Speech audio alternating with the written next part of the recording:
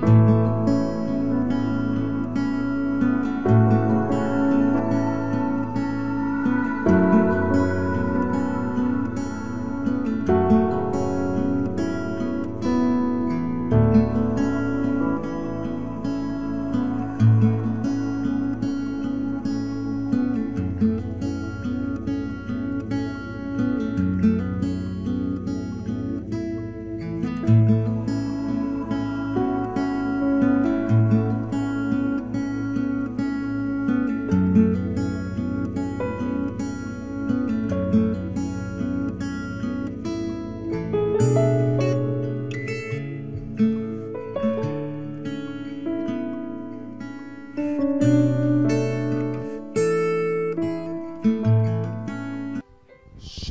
et à nouveau bienvenue dans Lumière sur mon sentier, ce programme dans lequel nous sommes affermis par la grâce de Dieu dans la parole de Dieu. C'est à nouveau pour moi une joie de me retrouver devant vous. Comme vous l'avez vu, notre euh, cadre a changé. Nous sommes euh, euh, à l'Assemblée chrétienne d'El Jadida et nous bénissons le Seigneur pour cette église qui nous accueille aujourd'hui. Et aujourd'hui, nous sommes à nouveau avec le pasteur Philippe Chembo. Bonjour pasteur. Bonjour frère Johan. Comment vous allez pasteur? Ça va bien, merci. Alors, euh, euh, vous avez fini euh, la, la tournée des églises locales pour le séminaire destiné. Quel, euh, quel, je dirais, quel sentiment vous anime après avoir fait tout ce long travail? Il y a d'abord la reconnaissance envers Dieu de qui nous tirons notre existence. Et il m'a, il m'a fortifié. Il m'a donné ce qu'il fallait pour euh, le communiquer au peuple de Dieu. Je rends grâce à Dieu pour la parole qui progresse, la parole euh, qui, transforme, cette parole transformatrice dans la vie de, tout- de toutes les assemblées où j'ai été. C'est un- un- c'est un- c'est une réelle joie pour moi. Amen. Gloire à Dieu. Gloire à Dieu. Alors, euh, comme vous le savez, aujourd'hui, c'est notre euh, dernière session du mois. Et donc, durant la dernière session du mois, nous profitons pour répondre euh, aux questions posées par, par vous, bien sûr. Euh, et nous vous encourageons donc à, à- faire parvenir vos questions. Euh, si vous, vous savez certainement que en une heure, nous ne pouvons pas forcément parcourir tous les aspects d'un thème en- quelques minutes. Et donc, si vous avez des points d'ombre, des points d'incompréhension, n'hésitez pas à nous faire parvenir vos questions. Donc, ce mois-ci, nous, nous avons parlé des fausses doctrines, des faux docteurs, les, opinions et également le prophétique et quelques questions. euh, nous allons donc répondre à quelques questions à ce propos. Et si vous voulez euh, déjà connaître un peu les bases à propos de ces thèmes-là, euh, vous avez donc les, les émissions précédentes qui sont sur la chaîne YouTube. Alors, pasteur, la première question qu'on a ici, c'est est-il possible d'être qu'un vrai pasteur, docteur, prophète, évangéliste, devienne un faux docteur, pasteur, prophète Est-ce- Est-il possible que quelqu'un qui a été réellement appelé de Dieu, qui a bien commencé, finisse par devenir euh, un, un faux, un faux Oui, c'est possible. Voilà pourquoi l'apôtre Paul dit à son fils dans la foi, Timothée, veille sur toi-même et sur ton enseignement. Pasteur, dans ce genre de cas, qu'est-ce que, que doit faire le chrétien qui est dans une église où euh, le pasteur avait bien commencé, mais a commencé à s'égarer au point de devenir un faux docteur Que doit faire la brebis dans ce genre de cas? Je vois que la brebis doit vraiment prier, doit vraiment prier pour euh, que le pasteur revienne sur le droit chemin. L'apôtre Paul demandait à chaque fois qu'on puisse prier pour lui, afin qu'il prêche euh, hardiment le mystère de Christ. Et je crois que ce n'était pas seulement pour prêcher, mais qu'il reste aussi sur la saine doctrine. Très important de le faire. Je, je me souviens, j'ai un ami et un frère à moi. euh, il est dans une assemblée où pendant longtemps, le pasteur, chaque dimanche, il venait, donnait des cours d'hébreu. Il ne prêchait plus la parole, il donnait des cours d'hébreu. Il, il commence à leur parler de même l'alphabet, tout ça là. Voilà. J'ai dit que, je me dis que c'est une distraction. Souvent, on se focalise tellement dans les fausses doctrines, on peut, on, peut oublier autre chose aussi. Dans l'Église, on vient pour être, être enseigné, on vient prêcher et enseigner. C'est ce que Dieu nous a donné. On ne vient pas apprendre une langue.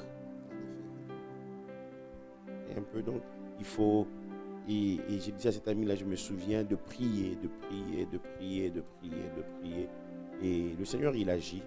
Permet que, dans ce genre de situation aussi, la personne peut revenir sur le droit chemin. Est-ce qu'il est, est-ce qu'il arrive un point où il, soit nécessaire de quitter l'Église? Et dans, dans, quel cas il est nécessaire, après avoir prié, d'être de partir de l'Église? Après avoir prié, si la personne persiste et que Christ n'est plus le centre, Christ est le chef. Ephésiens 1, 22 à 23, il a, la Bible dit, Dieu a tout mis sous les pieds de Christ et il a, il donné comme chef suprême à l'Église qui est son corps, la plénitude qui remplit tout en tous. Donc Christ, quand Christ n'est plus le chef, et que le Saint-Esprit n'est plus là, Dieu n'est pas adoré, la parole ne plus prêchée dans, dans sa totalité, dans sa intégralité, nous devons nous retirer. Amen. Pasteur, poursuivons donc sur ce même euh, cette même thématique-là par rapport au fait de quitter l'Église. Euh, quelles sont donc, quelles pourraient donc être les autres raisons pour lesquelles il soit nécessaire de quitter une Église? Non, moi je pense d'abord que ce que j'ai mentionné là, c'est clair. la Bible nous le dit clairement, Christ doit être le chef. Jésus a dit à, la femme samaritaine, vous adorez celui que vous ne connaissez pas. Nous adorons ce que nous connaissons. Le salut euh, euh, vient des Juifs. Et Dieu est esprit. Il faut que ceux qui l'adorent en esprit et en vérité. Donc, ce que je vous ai énuméré en quatre points, là, c'est dans la Bible. Donc, Christ est le chef. Dieu doit être adoré. La parole doit être prêchée dans sa totalité. Et on doit laisser la place au Saint-Esprit. Voilà, c'est ces quatre éléments-là il y a des passages bibliques qui les suivent, qui les soutiennent. Euh, dans, dans, dans, Actes 9, verset 31, la Bible nous dit que l'Église était en paix, ainsi de suite. Elle s'accroissait par, et elle marchait dans la crainte de Dieu, elle s'accroissait par l'assistance du Saint-Esprit. Et le Saint-Esprit doit être là. Et ça, c'est la raison. Et voilà, quand la parole de Dieu est prêchée dans sa totalité, on en est nourri. D'autres raisons ne sont pas des raisons valables. Parce qu'il y a des gens qui quittent aussi, qui ne te disent pas la vérité, mais la personne cherche juste une position. Est-ce que c'est mauvais de quitter une église parce que, bon, je ne sais pas, après 5 ans, je vais dire entre guillemets, de loyaux services, on n'a pas été, par exemple, euh, nommé diacre ou ancien Est-ce que c'est une mauvaise raison? La Bible nous dit, euh, il est bon, la Bible nous dit clairement dans 1 Timothée 3, c'est une très belle question, il faut aspirer. Celui qui aspire à la charge des faits que euh, désire une œuvre excellente. Il y a des critères maintenant dans 1 Timothée 3.1. Il doit être marié d'une seule femme, ainsi de suite. Tite 1 aussi donne des critères. Ami des gens de bien, éloigné de la, cupidité. Il doit d'abord bien gérer sa maison. Il doit tenir ses enfants dans l'obéissance, ainsi de suite. il faut que la personne puisse remplir le critère, les critères. Et ça reste dans la discrétion, je dirais, hein, du pasteur voilà, d'établir. C'est différent lorsqu'il s'agit d'un ministère qui doit être reconnu. il y a des gens qui ont un ministère qui est là, mais bon, pour une raison ou pour une autre, euh, euh, on ne veut, veut peut-être pas reconnaître. Même pour ça, il faut d'abord savoir pourquoi. Parce qu'on peut avoir un ministère. Est-ce le moment d'entrer dans ce ministère-là? Et puis aussi, euh, quelqu'un aussi peut avoir un appel il a, reçu un appel dans l'endroit où il se trouve, mais Dieu a dit au pasteur que il ne travaillera pas avec lui. Oui. Il ne travaillera pas avec lui. Donc le pasteur peut dire oui, je crois que tu as un appel, mais je ne pense pas que Dieu veuille que nous puissions travailler ensemble. bon, là, je reviens. Mais par rapport aux diacres et aux anciens, euh, il, y a des choses à remplir, des critères à remplir. Si quelqu'un quitte juste pour ça, euh, la personne euh, la, personne n'a rien compris. n'a rien compris. Là, nous parle de Mathias. il a été avec Jésus depuis le baptême de, Jésus. Voilà, quand Jean baptisait, il était là. Même quand les gens ont quitté Jésus dans Jean 6, Matthias était là. Matthias et l'autre là, euh, Joseph, ils étaient là. Trois ans et demi, on ne l'a pas mentionné, mais dans le critère que l'apôtre Pierre donne pour choisir une personne qui, devait remplacer Judas, parce que la Bible dit clairement dans le livre de Psaumes qu'un autre prenne sa charge. On a dit quelqu'un qui a marché avec nous, qui a connu, voilà, qui a vu le Seigneur, qui a... et on va choisir finalement Matthias. Si on voit quelqu'un comme Matthias qui a été patient, nous, sommes appelés à la patience. Nous sommes dans une génération où les gens ne veulent pas patienter. Les gens quittent, les gens deviennent déloyaux parce qu'on ne les a pas placés anciens ou diacres. Et ils vont même se plaindre.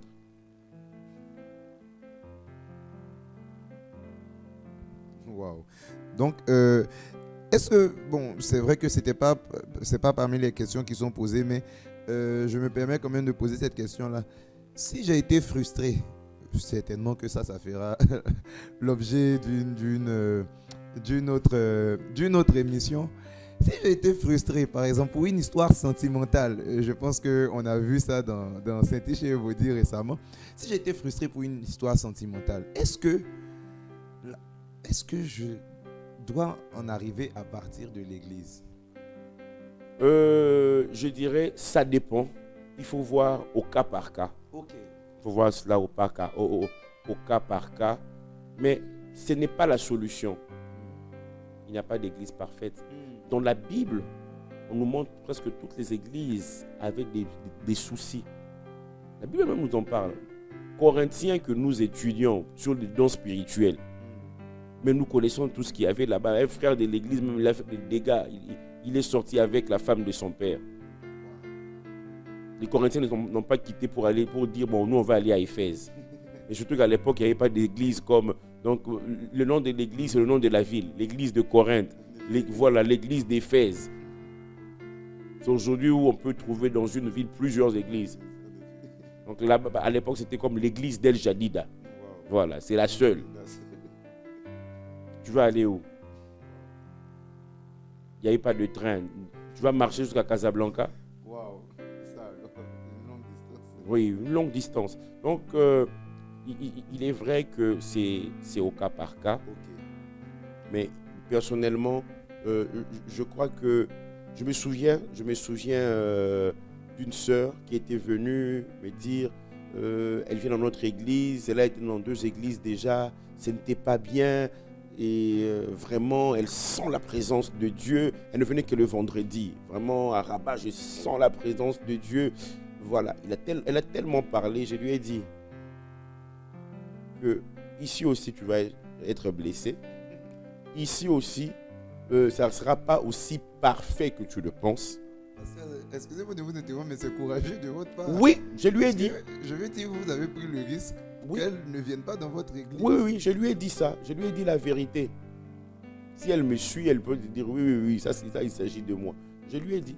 J'ai eu de la même manière, euh, tu es en train de parler comme ça d'autres églises, tu parleras ainsi de notre assemblée. Et quelques temps après, deux ans ou trois ans et demi après, elle est partie aussi. Wow.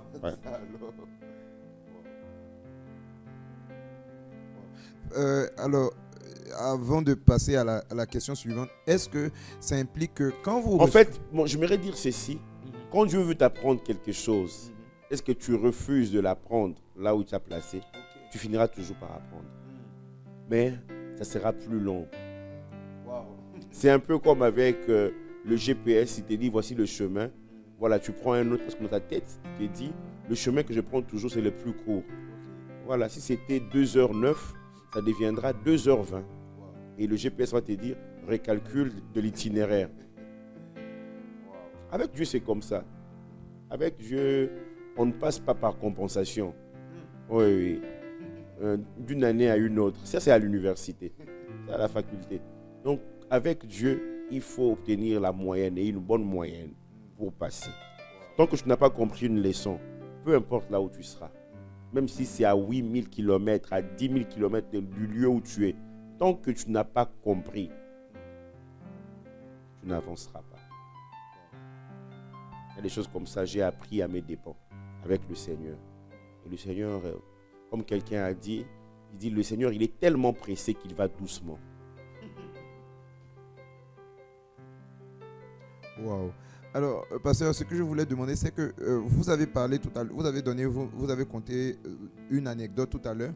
Est-ce que ça veut dire que, par exemple, en tant qu'homme de Dieu, parce que je crois qu'il y a des hommes de Dieu aussi en exercice ou en devenir qui nous suivent, est-ce qu'en tant qu'homme de Dieu, il faut euh, faire attention aux gens qui quittent une église pour venir dans la nôtre Est-ce qu'il faut poser des questions? Ou bien il faut tout simplement bon, les, les accueillir dans la maison du Seigneur sans faire trop d'histoire? Je crois qu'il faut les accueillir, mais il faut quand même être sur ses gardes. Il faut aussi écouter le Saint-Esprit. Je me souviens, il y a quelques années, nous avons commencé euh, une assemblée. C'était quand même osé de notre part. Euh, de ma part, je dirais, de demander à certaines personnes, va quand même dire à ton pasteur que tu pars. Nous ne sommes pas là à accueillir les rebelles. Vous savez, on doit gagner les âmes. Il y a beaucoup de perdus. Je suis mal à l'aise lorsque la croissance d'une église se fait par transfert. Et ça fait que les âmes ne sont pas gagnées aujourd'hui. Une personne quitte l'église A parce qu'il y a une nouveauté d'une église qui est reconnue dans le monde, sur Internet. Voilà, tout le monde veut aller à l'église B. Tu vas être content dans un premier temps. Mais c'est des gens, euh, à moins que tu sois comme David, hein, qui a accueilli les endettés, les, personnes qui étaient dans la détresse, qui étaient mécontents. Mais ce n'est pas, pas facile. C'est pas facile. Donc, à force de vouloir dire, moi j'ai la plus grande église, la meilleure croissance dans le coin où je suis, souvent on, accepte tout. Vous savez, une seule personne qu'on accueille pour, euh, surtout quand il est proche, il est dans le service à l'église, une seule personne avec une mauvaise semence peut détruire l'œuvre que vous avez commencée depuis des années.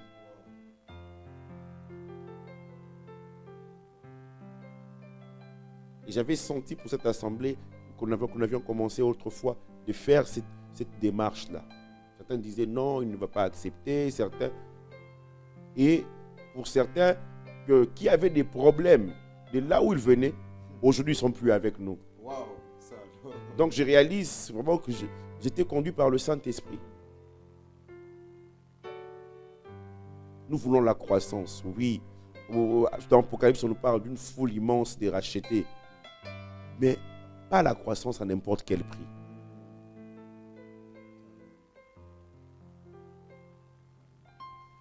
C'est vraiment très important. C'est vraiment très important. Nous voulons la croissance, mais pas la croissance à n'importe quel prix. Parlons, pasteur, des opinions sur les jours. Euh, lors d'une émission, nous avions parlé euh, des, des- opinions, du fait que certains distinguaient les jours et autres. Pasteur, est-ce que tous les jours se valent? C'est une question qui nous est adressée. Oui, tous les jours c'est Val. Dans le psaume 118, je pense, la Bible dit c'est ici la journée qui est la fête, qu'elle soit pour nous un sujet de joie et d'allégresse. Le psalmiste ne, ne nous dit pas quel jour. Il dit c'est ici la journée qui est la fête. Et dans Genèse chapitre 1, la Bible nous dit que c'est Dieu qui a créé les jours, euh, voilà, les luminaires pour marquer les jours, les époques. C'est Dieu qui a créé les jours, tous les jours, c'est valable. Donc, du coup, euh, est-ce qu'on peut faire le culte n'importe quel jour ou seulement le dimanche? Nous pouvons faire le culte n'importe quel jour, mais nous devons avoir un jour pour le Seigneur. Ok. Pourquoi les chrétiens, euh, les premiers chrétiens ont commencé à célébrer le culte le dimanche alors que d'abord- le premier chrétien était des juifs? Oui. Donc ils ont laissé le sabbat, le samedi correspondant au, sabbat, au septième jour, pour euh, commencer à se réunir le premier jour de la semaine. C'est parce que Christ-. Parce que Christ est ressuscité le premier jour de la semaine. C'est ce que la Bible nous dit. Nous pouvons- lire cela dans Marc 16. Ok. On peut chercher cela. Marc chapitre 16. Voilà, j'ai trouvé. Le verset 9. Jésus étant ressuscité le matin du premier jour de la semaine. Pour nous, ça correspond à lundi. Plutôt. En, réalité, ça correspond à dimanche. Le, le dimanche, c'est le premier jour de la Ah, semaine. C'est pas lundi le premier. Non, non, c'est le semaine. premier jour de la semaine, c'est le dimanche. Le premier jour de la semaine, c'est le dimanche. Donc, ils ont commencé à se réunir. Et c'était devenu une habitude. Dans 1 Corinthiens 16, je pense, verset 2, l'apôtre Paul dit que chacun mette à part le premier jour de la semaine, selon sa prospérité, selon ses moyens, pour soutenir euh, une église qui était dans le besoin. Le premier jour de la semaine, oui, le premier jour de la semaine, c'était ça en fait, correspondant au dimanche. Et dans Acte 20, verset 7, Luc dit, comme nous étions là, réunis pour rompre le pain, le premier jour de la semaine, c'est devenu une habitude pour eux, pour se souvenir que ces jours-là, le Seigneur est ressuscité. Donc Dieu, il veut que nous ayons un jour quand même, voilà, comme un jour de repos pour nous. Donc ça veut dire que s'il est vrai qu'on peut faire le culte tous les jours, on doit s'assurer d'avoir un jour où on le fait. Oui, Ok. Justement, alors vous avez donc, j'en vais sur la question suivante qui nous est parvenue, parce que effectivement, le samedi est le septième jour, de façon historique, le jour dit du sabbat. Et dans les dix commandements d'ailleurs, le quatrième commandement nous dit, tu honoreras le jour du sabbat, que Mm. celui qui ne respectera pas le jour du sabbat sera euh, est digne de mort. Du coup, comment se fait-il que les chrétiens semblent alors ne pas respecter ce jour du sabbat, vu que nous nous réunissons le fameux premier jour de la semaine qui est le dimanche, pasteur? Vous savez, quand on parle de la loi, il y a aussi l'esprit de la loi. Ok, Il y a de ces choses qui sont dans la Bible. Il faut en retirer le principe. d'accord. Sinon, vous passerez à côté. Hmm. Jésus dit, si ton bras est une occasion de chute pour toi, ton bras droit, coupe-le. Si tu prends ça littéralement, tu vas couper. Tu vas couper le- le- le- ta main droite, tu vas couper ta main gauche, tu vas, tu vas couper tes orteils, tu vas te mutiler et puis tu n'auras plus rien. En effet, excusez-moi d'ouvrir une parenthèse, mais donc justement, est-ce que par exemple quelqu'un qui se masturbe Hmm. doit en arriver à couper sa main pour pouvoir s'en sortir? Non, ce, ce- ce- ce- ce n'est pas la solution, mais il, il gardera l'autre main.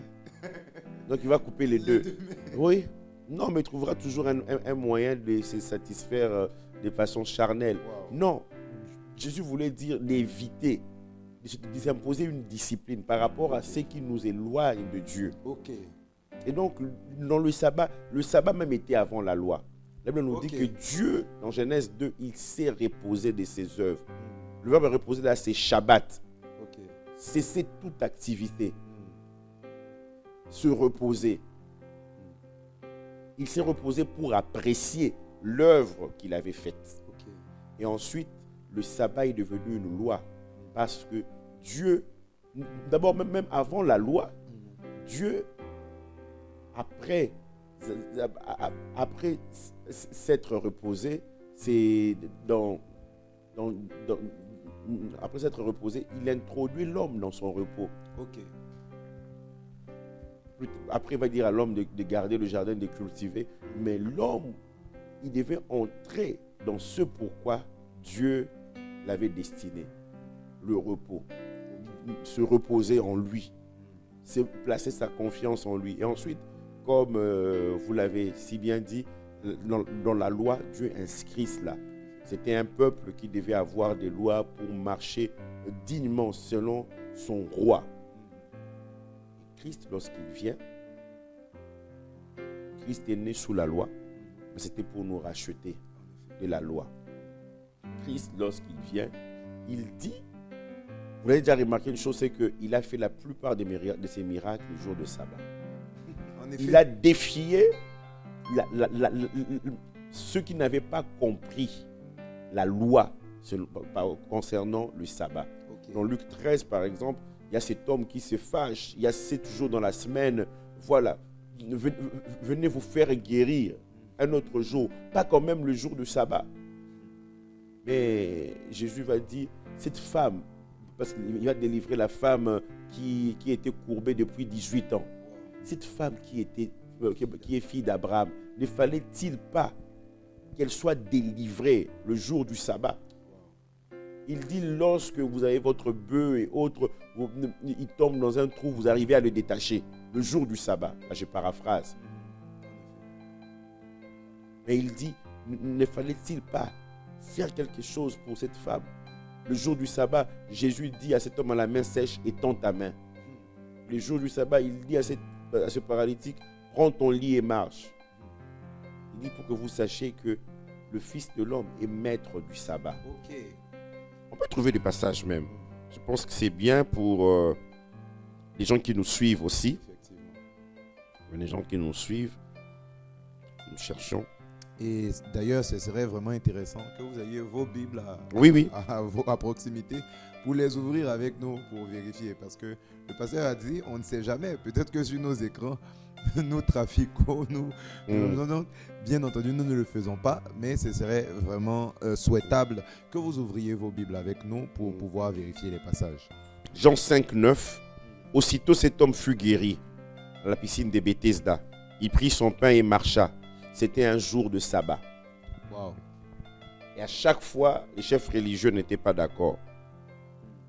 Dans Jean 7, verset 22, Jésus dit, Moïse vous a donné la circoncision.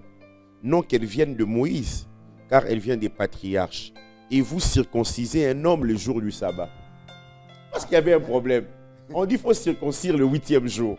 Et ça tombe Non, si ça tombe le jour du sabbat, comment on va faire? On doit se reposer. On doit se reposer.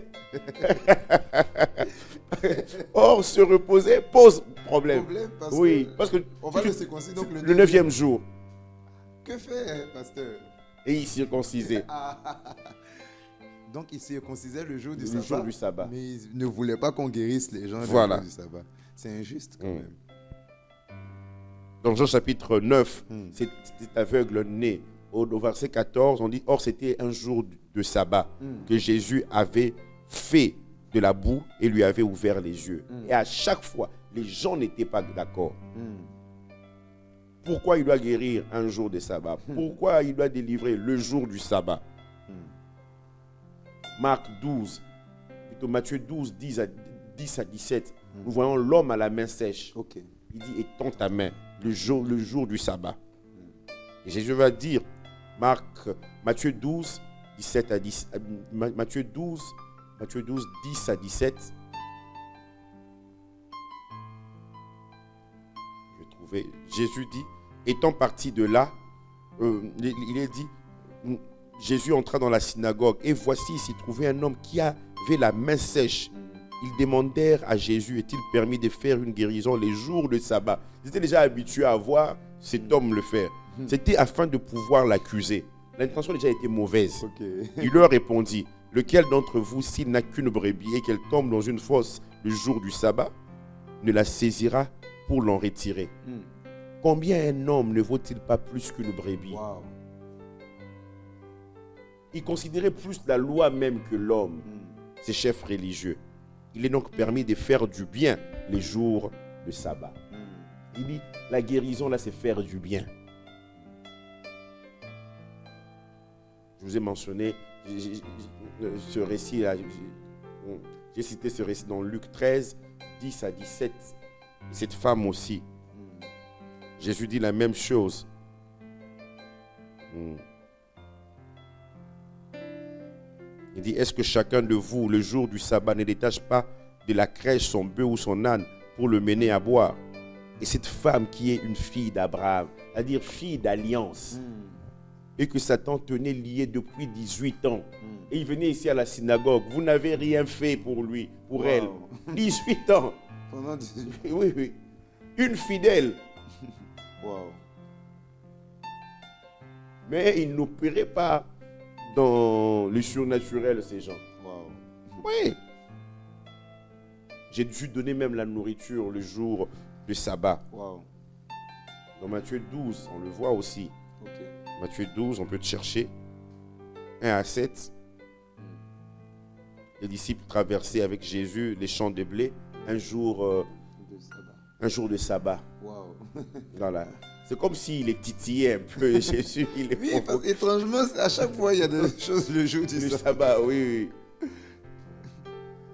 Et eux, ils vont être contre. Et c'est là que Jésus va dire au verset 7, Si vous saviez ce que signifie je prends plaisir à la miséricorde et non au sacrifice, vous n'auriez pas condamné des innocents. Hmm. Il les appelle même innocents. Waouh. Donc ils ont mangé le jour du sabbat Oui, et ils étaient innocents. oui. Et dans Marc 2, le passage parallèle, Hmm. Marc 2, 27 à 28, si on peut nous le trouver. Marc 2, 27 à 28. Puis il leur dit, le sabbat a été fait pour l'homme Waouh. et non l'homme pour le sabbat. Hmm. Le repos a été fait pour l'homme, Hmm. c'est ce qu'il est en train de dire. Et puis il dit de sorte que le Fils de l'homme est le maître même du sabbat. Hmm. Voilà. Waouh. Waouh. Alors, je pense que si vous vous posiez depuis longtemps cette question de savoir pourquoi on ne fait pas le culte samedi, pourquoi on le fait le dimanche et tout ça, je pense que vous avez suffisamment de références. Parce qu'il y a des gens qui vont vous donner même Ésaïe 58. où Dieu dit respecte le jour du sabbat. C'était un principe. Dieu voulait que le peuple apprenne à se reposer en lui et à se reposer même physiquement. Aujourd'hui, il y a des gens qui sont dans la dépression, ils travaillent tellement. Je pense que c'est en Corée du Sud, on, on, on montrait une fois, il y a des gens qui travaillent 18 heures, 20 heures par jour. Ils ne se reposent pas, ils ne dorment pas. Certains même se disent, je ne peux pas me marier. Certains, oui, certains ont dit, ils ne peuvent pas se marier parce qu'ils sont consacrés Au travail. au travail, à une grande entreprise là-bas. Non, je ne citerai pas le nom. Ils sont consacrés. À ça, pas à Dieu, mais au travail. Ils ne peuvent même pas se marier. Parce qu'ils disent, est-ce qu'ils auront le temps pour leur conjoint? Ils n'en auront, ils, ils n'en auront pas. Et Dieu voulait déjà que on puisse se réserver un jour. Mhm. Parce qu'il sait, après une activité, il faut se reposer. Il a même dit à Israël qu'il devait avoir une année sabbatique. Chaque sept ans, Mhm. la terre devait se reposer. Même la terre. Même la terre. Waouh. Ce qu'on a étudié dans la suite, voilà, l- en géographie et autres, dans les La sciences. jachère. Oui, oui, oui. Laissez la terre en jachère. Dieu en parlait déjà. Waouh. Donc c'est pas une technique euh, africaine? Non, non, non, non, non, ça n'a rien à voir. C'est Dieu lui-même, le maître des temps, Waouh. Ouais. Seigneur de toute la terre. C'est lui qui a institué cela. Amen. Et mis à part le péché qui régnait en Israël, Mhm. s'ils sont partis aussi en captivité, Dieu dit c'est pour que la terre se repose. Ils n'ont pas honoré la- l'année sabbatique. Waouh. La septième année, l'année du Mm. repos, oui. Parce que l'année sabbatique, Mm. exactement. Ok, donc de ce que j'ai compris de ce que vous avez dit à la lumière des Écritures, bien entendu, c'est que c'est pas tant le jour qui est important, c'est surtout le principe du repos. C'est le principe du repos. Ok, donc est-ce que c'est normal donc pour, je, pour un chrétien de travailler 7 jours sur 7 alors Partant de ce principe-là? Euh, c'est un principe humain de travailler 7 jours sur 7. Dieu a voulu que nous puissions, à un moment, faire une pause. Ok, C'est un temps aussi pour réfléchir. ok. Parce que nous courons tellement vite. Nous sommes Mm. dans un monde où on court, on court, on court, on court. Mm. Dieu merci au temps de David. David avait compris ce que cela signifiait. C'était la même pensée que le sabbat. Pause. Oui. Oui, dans les psaumes. Mm. Souvent, quand vous arrivez là, vous sautez. Il ne faut pas sauter, il faut lire. Pause. Mm. Pour réfléchir à ce que vous venez de lire. Quel enseignement vous avez reçu? Et souvent, après des pauses dans les livres de psaumes, il y a toujours quelque chose qui se passe. En effet. En hébreu, c'est c'est là. C'est là. C'est là un mot que j'aime beaucoup. Mais je n'enseigne pas l'hébreu. que ce soit clair pour chacun de nous. C'est là, c'est pause. J'aime juste la prononciation, mais si on dit pause, c'est pas bien grave. Alors, pasteur, une dernière question. Ça concerne la nourriture. Oui. Parce qu'on avait aussi parlé de la nourriture dans, euh, ce, ce même jour où on a parlé des jours. Peut-on manger de tout? Oui. L'apôtre Paul dans 1 Corinthiens 10, mangez de tout ce qui se vend au marché. Oui. Waouh. Pourtant, dans l'Ancien Testament, on nous présente euh, une catégorie d'animaux qui sont censés qui sont dits impurs. Oui, le Seigneur, il savait pourquoi. Ok. Euh, euh, tout ce qu'il pouvait avoir euh, comme euh, retombée, il savait, il donnait des principes à ces gens qui étaient esclaves, qui se sont retrouvés à un endroit. C'est vrai que ce qu'il avait donné comme consigne, c'était dans le désert, mais qu'il devait aussi appliquer euh, en étant de la terre promise. Parce que quelqu'un peut me dire, non mais pasteur, c'était pas seulement dans le désert, oui, ils sont aussi entrés dans la terre promise, oui. Il devrait chercher auprès de l'obéissance. Et pour certains animaux, même aujourd'hui, après la science a prouvé que on doit faire attention, pas une très grande consommation de, euh, de la viande d'un tel animal et tout. Oh Dieu, on parlait déjà. Voilà. Mm. Mais, par principe, l'apôtre Paul, qui était lui-même hébreu, il dit manger. C'est vrai que quelqu'un va dire non, mais ça, c'est, ça concerne les viandes sacrifiées aux idoles. Ok. Mais bon, quand on dit vendre tout ce qui se vend au marché, il parle aux Corinthiens, dans 1 Corinthiens 10, 25, je pense. Et ces Corinthiens-là, euh, euh, eux, eux, ils ne se donnaient aucun obstacle. Ils, n'avaient pas, ils ne connaissaient pas les animaux impurs ou impurs. Ok. Alors, nous allons nous en arrêter là, mais j'ai une question pour vous et nous y euh, ça fera, vous pourrez y répondre. Euh, ce sera posté euh, sur Facebook et sur Instagram euh, quand ce live va finir. Et je crois que vous êtes aussi des lecteurs de la Bible, donc je crois que vous nous répondrez aussi à la lumière de la parole de Dieu. Peut-on manger la viande, la viande pardon, sacrifiée aux idoles? Peut-on manger la viande sacrifiée aux idoles? Alors, euh, donc, répondez dans, les commentaires si, vous êtes sur Facebook ou sur Instagram. Peut-on manger la viande sacrifiée aux idoles? Et ce serait bien bi- d'apporter les passages, les versets des Écritures aussi pour soutenir vos réponses. Lumière sur mon sentier aujourd'hui, c'est fini. Nous nous retrouvons donc le mercredi 2 mars, toujours sur les chaînes Facebook et YouTube. Pasteur Philippe A. Chembo pour être affermi dans la parole de Dieu. Que Dieu nous bénisse et shalom.